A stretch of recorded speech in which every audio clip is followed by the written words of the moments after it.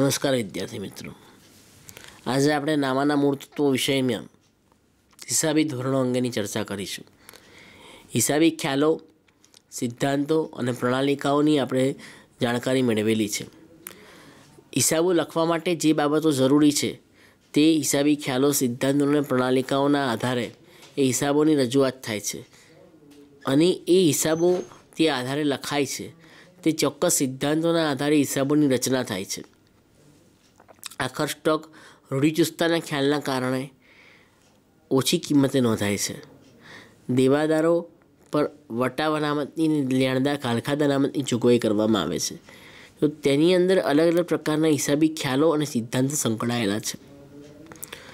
પાકું સરવૈયું અથવા કાચું સરવૈયું દર બાર માસના અંતે કરવામાં આવે છે. તો આ પ્રકારની માહિતી, આ પ્રકારની પદ્ધતિઓ પાછળ હિસાબી મુદતનો સિદ્ધાંત લાગુ પડે છે. અલગ અલગ પ્રકારના હિસાબી ખ્યાલો, સિદ્ધાંતો અને એના આધારે જે હિસાબોની રચના થાય છે, તેમાં પણ કેટલીક વાર તફાવત પડવાની શક્યતાઓ રહેલી છે. કેટલીક વાર હિસાબોની અંદર અલગ અલગ પ્રકારની વૈકલ્પિક પદ્ધતિઓને કારણે ઘણી બધી તફાવતો ઉદ્ભવે છે. એક પેઢીની બીજી પેઢી સાથે તુલના નથી કરી શકાતી. દાખલા તરીકે કોઈ એક પેઢી સીધી રીતની પદ્ધતિએ ઘસારો ગણે છે. અને તે જ પ્રકારની બીજી પેઢી ઘટતી જતી બાકી રીતે ઘસારો ગણે છે. તો એ બંને પદ્ધતિ, એ બંને પેઢીઓ વચ્ચે આપણે જો તુલના કરવી હોય, સરખામણી કરવી હોય, તો બંનેની સરખામણી શક્ય બનતી નથી. જેને કારણે એ સરખામણી શક્ય ન બનવાને કારણે આપણે તેના તારણો મેળવી શકતા નથી. જો તારણો સાચા મેળવવા હોય તો તમામે તમામ પ્રકારની માહિતીમાં એકરૂપતા અથવા સમાનતા લાવવી ખૂબ જ જરૂરી છે.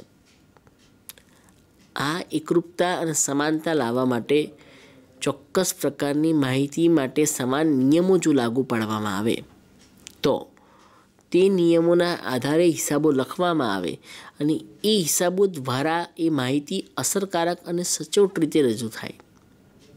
હિસાબો અસરકારક રીતે રજૂ કરવા માટે.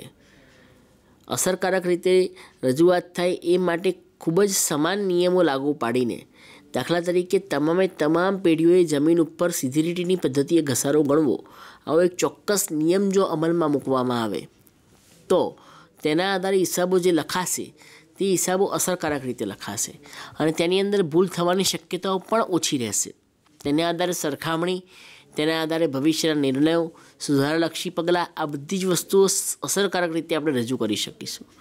પરંતુ આ પ્રકારની સમાનતા ન હતી અને અલગ અલગ પ્રકારની દરેક પેઢી પોતપોતાના વ્યક્તિગત અભિપ્રાયો અને પોતાની વિચારણાઓના અંતે આધારે સંચાલકો પોતાના અભિપ્રાય પ્રમાણે હિસાબોની અંદર નોંધ કરતા હતા.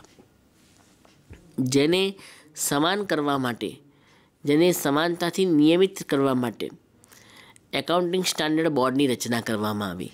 એકાઉન્ટિંગ સ્ટાન્ડર્ડ બોર્ડ એટલે કે હિસાબી ધોરણોનું એક બોર્ડ એટલે કે કમિટી, એક સમિતિ કે જે અલગ અલગ પ્રકારના હિસાબી ધોરણો રજૂ કરે છે.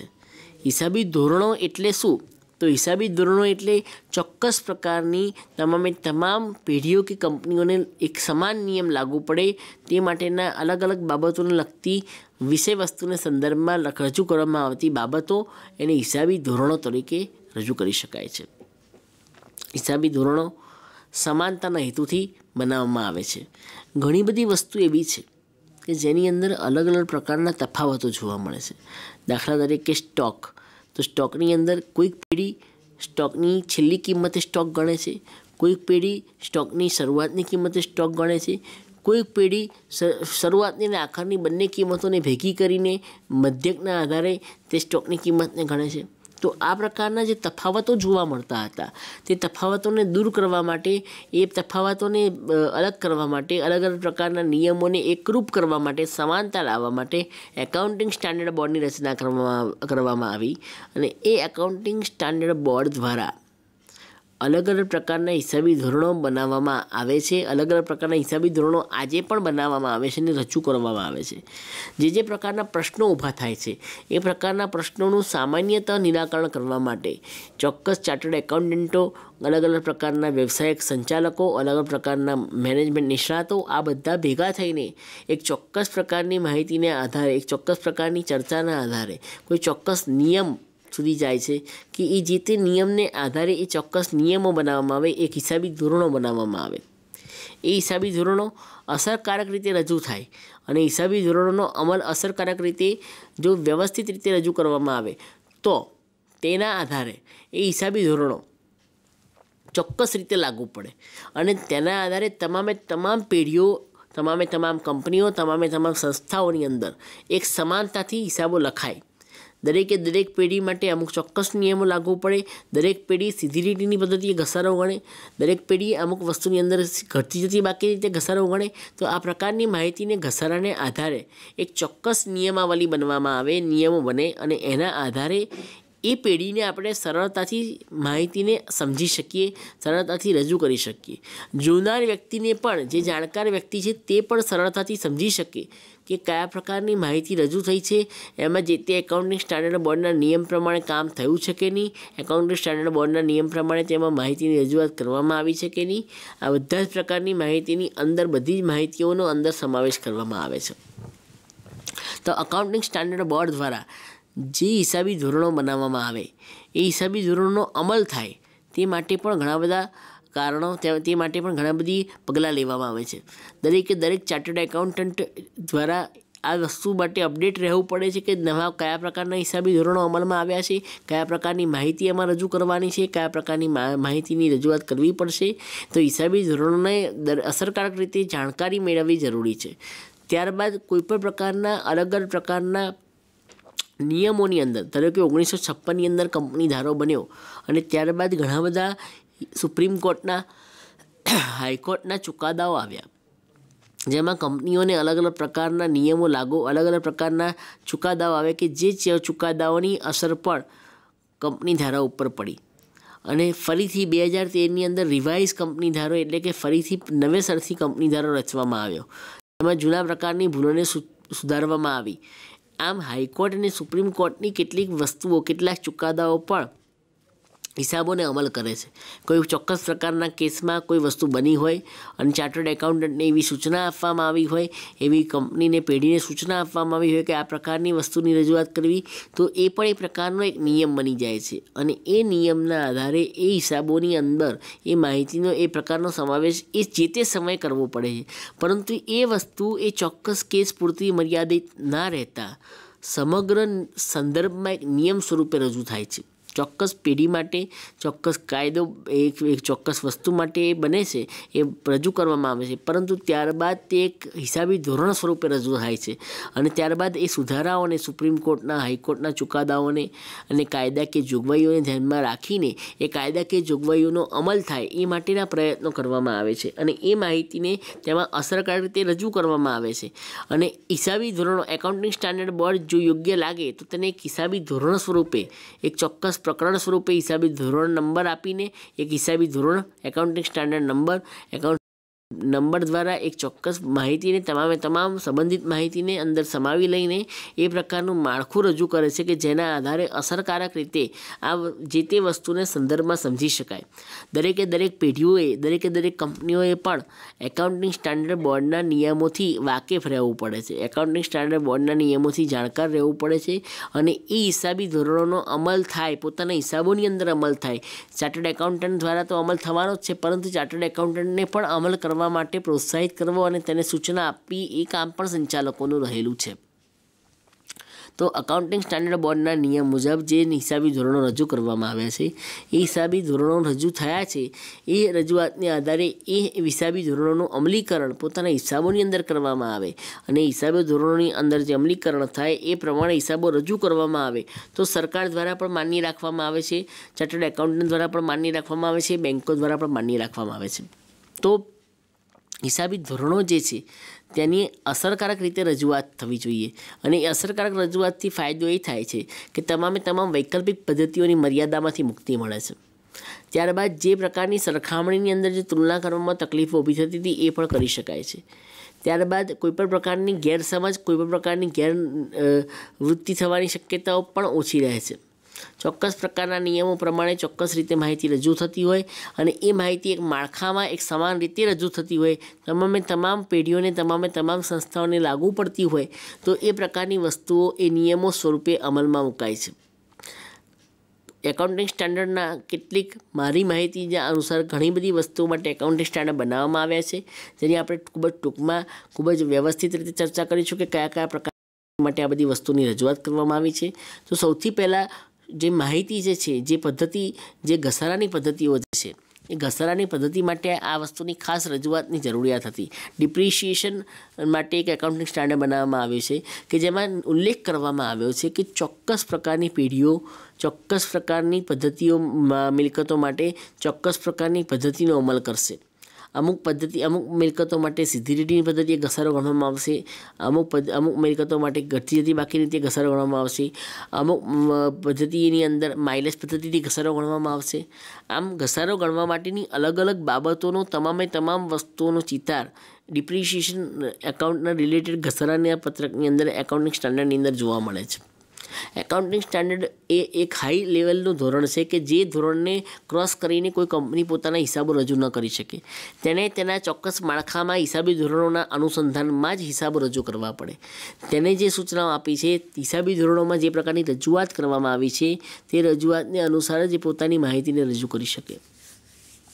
તો એકાઉન્ટન્સીની અંદર ઘસારાને રિલેટેડ એક એકાઉન્ટિંગ સ્ટાન્ડર્ડ બનાવવામાં આવ્યું છે. ત્યારબાદ કેશ ફ્લો સ્ટેટમેન્ટ માટે એક હિસાબી ધોરણ બનાવવામાં આવે છે કે એટલે કે રોકડ પ્રવાહ પત્રક જેને કહી શકાય. રોકડ પ્રવાહ પત્રક કે જેની અંદર રોકડ પ્રવાહને લગતી રોકડ આવે છે અને જાય છે. એમાં કયા કયા પ્રકારની માહિતીનો સમાવેશ થાય અને એમાં કયા કયા પ્રકારની બાબતોને ધ્યાનમાં લેવી, કયા પ્રકારની વસ્તુઓ અમુક અમુક સંજોગોની અંદર, અમુક અમુક બાબતોની અંદર કયા પ્રકારની માહિતીને ધ્યાનમાં રાખવી અને એના આધારે રોકડ પ્રવાહ પત્રકની રજૂઆત કરવી, એના આધારે રોકડ પ્રવાહ પત્રક બનાવવું અને એ માહિતીઓનો સમાવેશ એમાં કરવો. એ માહિતીની આધારે રજૂઆત કરવામાં આવે છે. ત્યારબાદ સ્ટોકની પદ્ધતિની અંદર અગાઉ આપણે વાત કરીએ એમ કેટલીક પદ્ધતિઓ છેલ્લી કિંમત સ્ટોક ગણે છે, કેટલીક પદ્ધતિઓ શરૂઆતની કિંમત સ્ટોક ગણે છે, કેટલીક પેઢીઓ મધ્યકને આધારે એટલે કે પહેલી અને બંને જ પહેલી પહેલા દિવસની રકમ અને છેલ્લા દિવસની રકમને સરવાળો કરીને બે વડે ભાગીને એની જે એવરેજ આવે એ આધારે સ્ટોકની કિંમત ગણે છે. અર્થતૈયાર માલના સ્ટોકનું મૂલ્યાંકન કેવી રીતે કરવું? તૈયાર માલના સ્ટોકનું મૂલ્યાંકન કેવી રીતે કરવું? અને તૈયાર કાચા માલના સ્ટોકનું મૂલ્યાંકન કેવી રીતે કરવું? આ પ્રકારની તમામે તમામ માહિતીઓ માટે એક ચોક્કસ પ્રકારની માળખાકીય બાબતોની રજૂઆત અંદર એકાઉન્ટિંગ સ્ટાન્ડર્ડ જે સ્ટોકની પદ્ધતિ માટેનું જે એકાઉન્ટિંગ સ્ટાન્ડર્ડ છે, એની અંદર કરવામાં આવી છે. જે તે હિસાબી ધોરણોની અંદર જે તે પ્રકારની માહિતીના સંદર્ભમાં વાત કરીએ, તો હિસાબી ધોરણો જે તે તફાવત ઉદ્ભવતી પદ્ધતિઓ જ્યાં તફાવત કે પ્રશ્નો ઉદ્ભવી શકે એમ છે. જ્યાં પેઢીઓ પાસે એવા કોઈ વિકલ્પો નથી, પેઢીઓ પાસે એવી માહિતી નથી કે જેના આધારે એ લોકો કોઈ ચોક્કસ પ્રકારના નિર્ણયો લઈ શકે. જ્યાં વ્યક્તિગત અભિપ્રાય અસર કરે છે, ત્યાં પણ એકાઉન્ટિંગ સ્ટાન્ડર્ડ બનાવવું જરૂરી છે. જ્યાં પણ તફાવતની શક્યતાઓ રહે છે, ત્યાં એ તફાવતને દૂર કરવા માટે એક સમાનતા, એકરૂપતા યુનિફોર્મિટી લાવવા માટે હિસાબી ધોરણોની રજૂઆત જરૂરી છે. હિસાબી ધોરણો એ રીતે રજૂઆત પામે, એ રીતે અમલમાં આવે કે જેથી કરીને હિસાબી ધોરણોનો અમલ થાય અને એકરૂપતાના આધારે હિસાબો વચ્ચે તુલના થઈ શકે, એક પેઢી બીજી પેઢી સાથે તુલના કરી શકે, એક એક માહિતીની થઈ શકે અને એ માહિતીને સરળતાથી રજૂ કરી શકાય. તો અકાઉન્ટિંગ સ્ટાન્ડર્ડ બોર્ડના આધારે બોર્ડની જે માહિતી છે, એના આધારે આ માહિતીને આપણે અસરકારક રીતે રજૂ કરવી જરૂરી છે. અને એકાઉન્ટિંગ સ્ટાન્ડર્ડ બોર્ડની માહિતી અસરકારક રીતે રજૂ થાય, તેમના દ્વારા ઇન્ડિયન એકાઉન્ટિંગ એસોસિએશન જે છે ચાર્ટર્ડ એકાઉન્ટન્ટ એસોસિએશન દ્વારા પણ ઘણી બધી વસ્તુઓનો અંદર ઉલ્લેખ કરવામાં આવે છે. અને એ બાબતોને બધી વ્યક્તિઓ ભેગી થઈને એકાઉન્ટિંગ બોર્ડ નક્કી કરીને ભેગી થઈને એક એકાઉન્ટિંગ સ્ટાન્ડર્ડના સંદર્ભમાં ચર્ચા કરે છે. એને રિલેટેડ બાબતોને અભ્યાસ કરે છે. અગાઉના સુપ્રીમ કોર્ટના અને હાઈકોર્ટના ચુકાદાઓનો અભ્યાસ કરે છે. કંપની ધારાનો અભ્યાસ કરે છે અને તેના આધારે અસરકારક રીતે. કેવી રીતે માહિતીને રજૂ કરી શકાય અને તેમાં કયા પ્રકારની વસ્તુ સમાન રીતે લાગુ પાડી શકાય તેમ છે. એ બાબતો અંગેની ચર્ચા તેઓ લોકો કરીને અને પછી એકાઉન્ટિંગ સ્ટાન્ડર્ડની રચના કરે છે અને ત્યારબાદ હિસાબી ધોરણો સુધી પહોંચે છે. તો આ પ્રકારની માહિતીને આધારે જે રજૂઆત થાય છે, એ રજૂઆતની અંદર ઘણી બધી વસ્તુઓમાં ફેરફાર થવાની શક્યતાઓ રહી છે. તો હિસાબોની અંદર જે માહિતી રજૂ કરવાની છે તે રજૂઆતની અંદર સમાનતા લાવવા માટે આ પ્રકારના પ્રયત્નો કરવામાં આવે છે. ચાર્ટર્ડ એકાઉન્ટન્ટ પોતે પણ કોઈપણ પ્રકારના હિસાબી ધોરણોની મર્યાદાની બહાર જઈને કામ નહીં કરી શકે. તેણે હિસાબી ધોરણોની માહિતીને આધારે જ હિસાબો લખવા પડશે અને તેના આધારે અસરકારક રીતે રજૂઆત કરી શકે તે માટે પ્રયત્નો કરવા પડશે.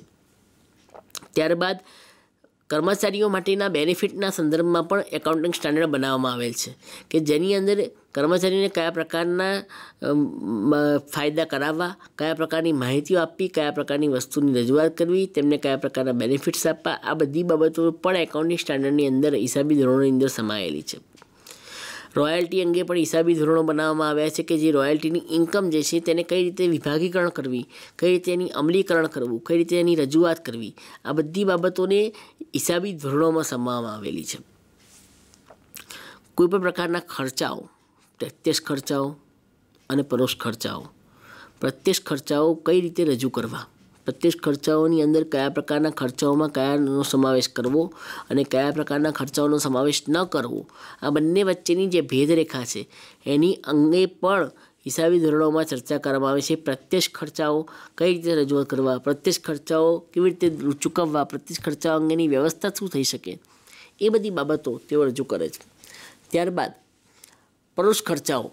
તો પરોક્ષ ખર્ચાઓને અંગે પણ જે પ્રકારની દ્વિધાઓ ઊભી થઈ છે, એ પરોક્ષ ખર્ચાઓ કઈ રીતે ચૂકવવા પડશે અને કયા પ્રકારની ચૂકવણી બતાવી, કયા ખાતાની અંદર કયા જગ્યાએ નોંધ કરવી, આ બધી બાબતોની અંદર પણ હિસાબી ધોરણો બનાવવામાં આવેલા છે. હિસાબી ધોરણો સમાનતાથી હિસાબો લખાય તે માટે પ્રયત્નશીલ છે. તે માટેની સતત પ્રવૃત્તિ તેમના દ્વારા થાય છે. ત્યારબાદ, સ્ટોકના અલગ અલગ પ્રકારના સ્ટોકની માહિતીને રજૂ કેવી રીતે કરવી? અલગ અલગ પ્રકારના સ્ટોકની માહિતીને રજૂ કેવી રીતે કરવી અને તે પ્રકારની માહિતીને રજૂ કરવા માટે કયા પ્રકારના સંદર્ભમાં એમની રજૂઆતને અસરકારક રીતે માળખામાં રજૂ કરવી? અલગ અલગ પ્રકારના સ્ટોક એકથી વધારે વસ્તુ બનાવવામાં આવતી હોય. તો એકથી વધારે પ્રકારની વસ્તુની રજૂઆત એ લોકોના અડતિયાર માલ, તૈયાર માલ અને કાચા માલમાં કેવી રીતે વિભાગીકરણ કરવું? પ્રક્રિયા એકમાંથી પ્રક્રિયા બેમાં જતી હોય એટલે કે એક પ્રક્રિયાનો કાચો માલ બીજી પ્રક્રિયા માટે અર્ધ તૈયાર માલ બને અને એ ત્રીજી પ્રક્રિયા માટે તૈયાર માલનું સ્વરૂપ ધારણ કરે તો તેની અંદર કઈ રીતે હિસાબોની અંદર સમાવી તે બાબતોની ચર્ચા એમાં કરવામાં આવે છે. તો આ પ્રકારની તમામ માહિતી એમાં એકરૂપતાથી સમાવી લેવામાં આવે. એ પ્રકારની રજૂઆત તેમાં થાય. એ માટે હિસાબી ધોરણો બનાવવામાં આવેલા છે. એ હિસાબી ધોરણોની અંદર પ્રત્યક્ષ ખર્ચાઓ, પરોક્ષ ખર્ચાઓ, મૂડી ખર્ચાઓ અને મહેસૂલી ખર્ચાઓ. જે ખર્ચાઓ લાંબા સમયના છે, ખૂબ જ, કોઈક જ વાર કરવામાં આવે છે, તે મૂડી ખર્ચાઓ અને જે નિયમિત રીતે થતા ખર્ચાઓ છે, તે મહેસૂલી ખર્ચાઓ છે. તો એ મહેસૂલી ખર્ચા અને મૂડી ખર્ચાને લગતી વિગતો પણ કેવી રીતે સમાવી, કેવી રીતે એનો હિસાબમાં ઉલ્લેખ કરવો, સમાવેશ કરવો, એ માટેની જે વિગત છે, તે પણ મૂડી ખર્ચા અને મહેસૂલી ખર્ચાઓના સંદર્ભમાં હિસાબી ધોરણો બનાવવામાં આવેલા છે. ત્યારબાદ મૂડી આવક ને મહેસૂલી આવક. જે આવકો અનિયમિત રીતે મળતી આવકો છે, જે વારંવાર નિયમિત નથી મળતી, એવી આવકો છે. તે મૂડી આવકો માટે કેવી રીતે હિસાબમાં નોંધ કરવી, તેની સમાવેશ કરવો તેની નોંધ પણ હિસાબી ધોરણોમાં કરવામાં આવી છે. અને ત્યારબાદ હિસાબી મૂડી મહેસૂલી ખર્ચાઓની નોંધ નફા નુકસાન ખાતામાં કરવી વેપાર ખાતામાં કરવી કે અન્ય કોઈ પણ સ્વરૂપે કરવી. એ બાબતોને લગતી વિગતો પણ તેમાં રજૂ કરવામાં આવેલી છે. તો આ બધી બાબતોની વિગતોને કેવી રીતે સમાવી તે માટેની હિસાબી ધોરણોની એક રચના સમાન રીતે કરવામાં આવેલી છે કે જેને આધારે હિસાબી ધોરણોમાં તે વિગતો સમાવવામાં આવે છે. મૂડી ખર્ચા, મહેસૂલી ખર્ચા મૂડી આવકો, મહેસૂલી આવકો આમ ચાર વિભાગીકરણ જે બિન વેપારી સંસ્થાના હિસાબોમાં આપણે જોયેલું છે, સમજેલા છીએ. તેની હિસાબી ધોરણોમાં રજૂઆત કેવી રીતે કરવી? તેની હિસાબી માહિતીની અંદર રજૂઆત કેવી રીતે કરવી? તે અંગેની વિગતો તેમાં સમાવવામાં આવેલી છે. ત્યારબાદ ભંડોળ પ્રવાહને લગતી એટલે કે જે ધંધાના રોજબરોજના વ્યવહારોમાંથી જે ભંડોળ ઊભું થાય છે. અથવા તો રોકડ પ્રવાહની વાત કરીએ તો રોકડની લેવડ દેવડની જે વાત છે, રોકડ આવે છે કેવી રીતે ને જાય છે કેવી રીતે તે અંગેની રોકડ પ્રવાહ પત્રકની જે વાત છે. તેને માહિતીને પણ રોકડ પ્રવાહ પત્રકના નિયમોમાં, નાણાકીય પ્રવૃત્તિમાં, રોકાણની પ્રવૃત્તિમાં અને કામગીરીની પ્રવૃત્તિમાં ત્રણ ભાગમાં વિભાજિત કરીને કેવા સ્વરૂપમાં, કેવા માળખામાં રજૂ કરવી, કેવી રીતે રજૂ કરવી જેથી કરીને સામેવાળી પક્ષકાર, સામેવાળો પક્ષકાર સરળતાથી સમજી શકે અને અસરકારકતાથી તે રજૂઆત કરી શકે. એવી માળખાકીય રજૂઆત જે છે, તે હિસાબી ધોરણોમાં કરવામાં આવી છે. આમ હિસાબી ધોરણો જે છે, તે ચોક્કસ પ્રકારના નિયમોની અંદર, ચોક્કસ પ્રકારના માળખાની અંદર કામ કરે છે અને એ હિસાબી ધોરણો સમાનતાથી થાય એ પ્રવૃત્તિને ધ્યાનમાં રાખે, એના આધારે એ માહિતીને રજૂ કરે છે. એના આધારે માહિતીની રજૂઆત શક્ય બને છે. જે રજૂઆતને કારણે હિસાબોની અંદર રહેલી ભૂલો, ગોટાળાઓ એ બધી શક્યતાઓ ઘટે છે. હિસાબોમાં સમાનતા લાવવાને કારણે દરેકે દરેક પેઢીને એકબીજાને જાણવાની, સમજવાની તક મળે છે કે જે હિસાબી ધોરણોથી માહિતી સરળતાથી રજૂ કરી શકાય છે. આવા પ્રકારના અલગ અલગ હિસાબી ધોરણો બનાવી, બનાવવાની રચના ચાલુ છે અને હજી ઘણા બધા પ્રકારના હિસાબી ધોરણો સમય સંજોગો અનુસાર બનતા રહેશે. હિસાબી ખ્યાલો સિદ્ધાંતોના આધારે હિસાબી ધોરણોની રચના કરવામાં આવે છે. એ સિદ્ધાંતો કે ખ્યાલોની અસર પણ હિસાબી ધોરણો પર પડતી જોવા મળે છે. ચોક્કસ પ્રકારના હિસાબી ખ્યાલો, ચોક્કસ પ્રકારની હિસાબી માન્યતાઓ, ચોક્કસ પ્રકારના હિસાબી ધોરણો, એને આધારે હિસાબી ધોરણોની અંદર પણ એ વિગતોને સમાવવામાં આવે છે. આખર સ્ટોકને ઓછી કિંમતે લેવો, તો એ આખર સ્ટોકની ઓછી કિંમત રૂઢિચુસ્તના સિદ્ધાંતને આધારે લેવામાં આવે છે. તેની ઉલ્લેખ હિસાબી ધોરણોમાં પણ કરવામાં આવ્યો છે. હિસાબી ધોરણોની અંદર પણ તે બાબત જાણવામાં આવી છે કે આકર્ષકની કિંમત ઓછી જ લેવી, જેથી કરીને ભવિષ્યમાં આવનારા સંભવિત નુકસાનને પહોંચી વળાય, સંભવિત ખર્ચાને પહોંચી વળાય પરંતુ આવનારા ખર્ચાઓને સંજોગોને આધારે જે નિર્ણયો લેવાના છે, તે નિર્ણયોની અસરકારક રજૂઆત શક્ય બને. આમ હિસાબી ધોરણો એક પ્રકારની ચોક્કસ માળખાકીય રજૂઆત અને એક ચોક્કસ પ્રકારની સમાનતાના હેતુથી બનાવવામાં આવે છે. આ આ બધી જ માહિતીને આધારે જે પણ હિસાબી ધોરણો, હિસાબી ખ્યાલો અને સિદ્ધાંતો, આ બધી જે માહિતી છે જે જે દેખીતી રીતે થિયરીના ચેપ્ટર સ્વરૂપે છે. પરંતુ તેનો યોગ્ય અભ્યાસ કરવામાં આવે તો જ આપણને એકાઉન્ટન્સી વિષયની ઘણી બધી નવી દિશાઓ ખુલી શકે. કયા પ્રકારના કારણોથી કયા પ્રકારની એન્ટ્રીઓ થઈ શકે છે, કયા પ્રકારની એન્ટ્રીઓ થાય છે, એ બધી બાબતોની જાણકારી આપણને તેમના આધારે જ મળી શકે. હિસાબી ધોરણો હિસાબી ખ્યાલો અને સિદ્ધાંતોના આધારે હિસાબી વિધિ વિવિધ પ્રવૃત્તિઓ પ્રવૃત્તિઓ જે છે જે હિસાબોની અંદર આપણે સમાવવાની વાત કરીએ છીએ જેમાં હિસાબો લખતી વખતે જે બાબતો ધ્યાનમાં રાખવાની છે કેટલીક બાબતો જેવી કે હડતાલ કોઈપણ નિવૃત્ત વ્યક્તિ કર્મચારીની નિવૃત્તિ અથવા સારી વ્યક્તિ સારી કર્મચારીની મૃત્યુને કારણે ધંધા ઉપર અસર પડે છે પરંતુ તે હિસાબોની અંદર આપણે સમજાવી શકતા કે સમાવી શકતા નથી હડતાલના કારણે નુકસાન શકતા નથી. કોઈ સારી વ્યક્તિના નિવૃત્ત થવાને કારણે અથવા મૃત્યુ થવાને કારણે આપણે નુકસાન થયું છે એવું બતાવી શકતા નથી. કોઈ પણ આવા પ્રકારના ખર્ચા નફા નુકસાન ખાતામાં ઉધાર બાજુ દર્શાવી શકતા નથી. છતાં પણ એ હિસાબોની અંદર સમાવવા જરૂરી છે. છતાં પણ હિસાબોની અંદર રજૂઆત કરવી જરૂરી છે. અને હિસાબોના આધારે અંદર જે રજૂઆત કરવામાં આવે છે તે હિસાબો અસરકારક રીતે રજૂ થાય અને એમાં એ વિગતોને સમાવવામાં આવે. તેમના આધારે ભવિષ્યના આગામી નિર્ણયો લેવામાં આવે. ભવિષ્યના આગામી પ્રવૃત્તિઓની નિર્ણય લેવામાં આવે અને એ વસ્તુને આધારે નિર્ણયો લેવાય, તે આપણને સચોટતાથી સાચું માર્ગદર્શન આપે. આમ હિસાબી ધોરણોની આપણે અહીં ચર્ચાને પૂર્ણ વિરામ આપીએ છીએ અને આપ સૌ મને શાંતિથી સાંભળ્યો તે બદલ આભાર. અસ્તુ.